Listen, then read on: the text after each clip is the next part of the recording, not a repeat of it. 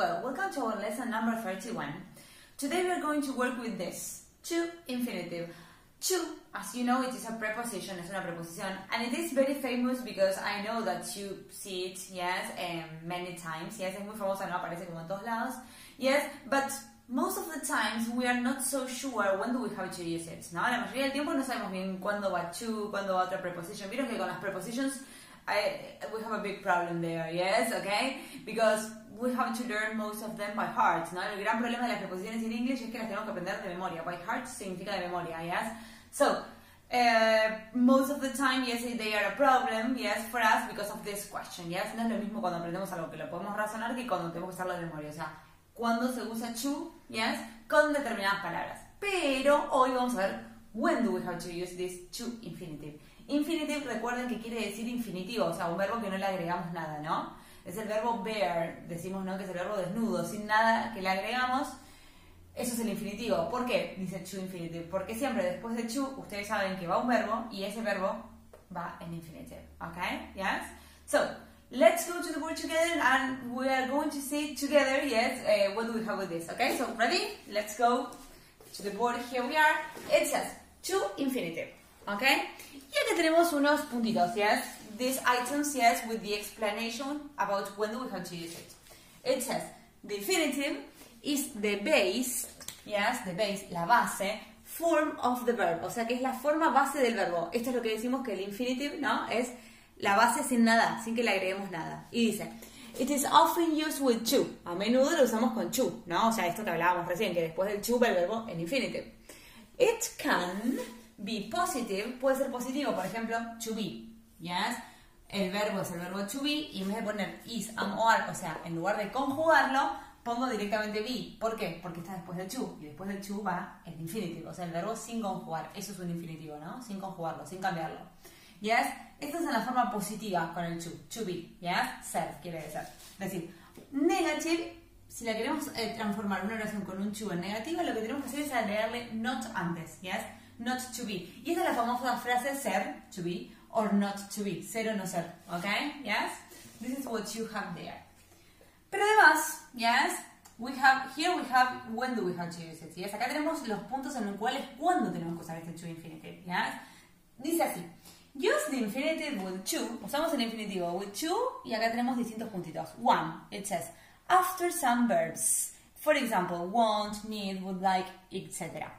Dice verbs. Acá es donde tenemos el mayor problema. ¿Por qué? Porque estos some verbs no es que podemos decir, ok, bueno, eh, una lista ya es de, de, cuáles verbos son, porque son muchos, ¿ya?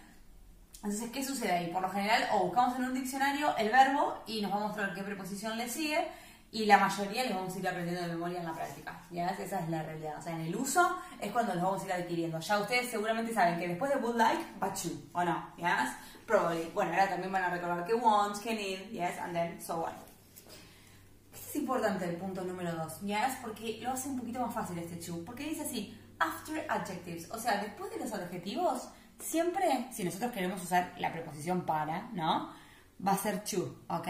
Esto es fácil, yes, o sea, me parece que está bueno para recordar que después de los adjetivos, si después queremos poner un verbo, una acción, va este to. Por ejemplo, it is, uy, este no escribo bien, I'm going to take another one. Yes, I'm going to write, it is easy to follow, por ejemplo. Es fácil, ya es easy, tenemos el adjetivo. Si yo quiero agregar una acción después de este verbo, de este adjetivo, la preposición que va a unir ya es un adjetivo. Con un verbo va a ser to, ya follow. Es fácil para seguir, ya es, por ejemplo, el tema. Alright? Yes? Then we have three, yes, after question words, for example, want, eh, sorry, what, acá hay una N que nada que ver, yes, what, where, when, etc. Yes? For example, I'm thinking about what, ahí tenemos question word, to wear. Estoy pensando qué vestir, ¿ok? O sea que si nosotros tenemos una oración en la cual vamos a usar algunas de estas question words, yes, ¿ok? You have to remember that after this question word, if we want to talk about a verb, we are going to join these two words with to. Okay? Yes? And finally it says to say why you do something. Okay? Para explicar por qué hacemos algo. Yes? And here you have the example, yes? It says, I came to this school to learn, okay? Yo vine a esta escuela, ¿para qué? Para aprender, okay? Not for learn, por ejemplo. O sea, no va for, que sería la otra preposición, yes? ¿Sí? Para, porque nosotros siempre tendemos a hacer, a hacer qué? A traducir del español al inglés. Y for, literal, significa ese para, ¿no? Pero bueno, también tienen que saber que este to también va a significar para, según la oración y cómo lo traducimos. Entonces, siempre lo que es importante con las preposiciones es no intentar traducir literalmente, porque la mayoría de las veces no funciona, ¿sí? Porque distintas preposiciones para nuestra lengua van a tener la misma, eh, la misma, el mismo significado, y es cuando lo traducimos, y en inglés son distintos, funcionan distintos, ¿ya? O sea, entonces, si nosotros traducimos, pasa eso, queremos traducir literal y nunca nos va a cerrar bien, ¿ya? Por eso es lo más difícil de las preposiciones, que tenemos que aprender by heart, de memoria, ¿ya? That's why, yes, most of us, la mayoría de nosotros, yes, we hate this question of the prepositions, okay? So this is what you have there, yes? Uh, well, now let's go to the table and I'm going to show you some activities that we are going to do to practice this.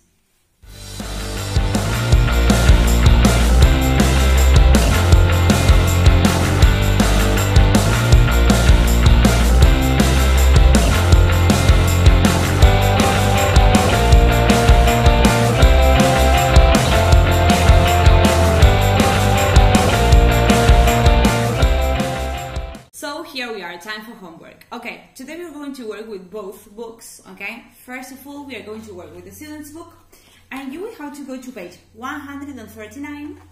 And from this page, yes, you will have to do from section, yes, 7a, exercise A and B, yes? A, it says, match the sentences helps, yes, helps, acuérdense, ¿no? Es como que la primera parte de la oración con la segunda, okay? So you will have to match them, yes? For example, be ready, dice be, yes? So be ready to show your passport at the check-in. Okay? And then it says B, complete the sentences with a positive or negative infinitive. Okay? Acá ya los tienen, ¿no? O sea, do, not, drive, yes. O sea, si tiene not, recuerden que tienen que transformarla en negativa. Yes? Todas van a ir con el to.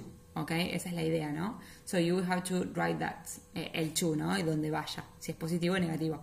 Y además el verbo en la oración que corresponda según el contexto y significado de meaning. Okay? So this is what you have to do here. Then we are going to work with the workbook, yes, and you have to go to page uh, 43, si no me equivoco, yes, 43. And here you will have to do exercise 1A, B, and C. Uh, C and D, yes. It says 1, yes. Complete the sentences with infinitive with two of a, uh, of a verb form, yes, from the list, okay? So you have to complete these sentences with these words. Remember to write two, yes. Then we have B. Write sentences using the adjective and the correct form of the verb, ¿ok? So, van a tener que escribir oraciones, yes, con, utilizando, yes, los adjetivos y la forma correcta del verbo, yes. Primero tienen los adjetivos y después el verbo. Por ejemplo, hello, how, yes, nice to meet you, ¿ok? Nice, adjetivo. Recuerden que siempre después del adjetivo to, antes de si va a ir después de un verbo, yes, and then the verb, ¿ok? Then C, it says, complete the sentences with to and a verb. ¿Ok? Y acá ya es un poquito más difícil porque ustedes tienen que completar con to, pero además un verbo que ustedes eligen. Yes? Según el significado. Y por último vamos con D, que dice, complete the sentences with a question word, yes, from the list. Tienen aquí. And to, to, plus a verb, plus the verb in brackets. Yes, so you have the verbs there. ¿Sí? Acá tienen un montón para divertirse con to, para practicar, yes. Uh, mucho chu, mucho chu. Okay, so this is what you have to do today. Yes, and well, I hope you like the class and see you next week. Bye bye. See you.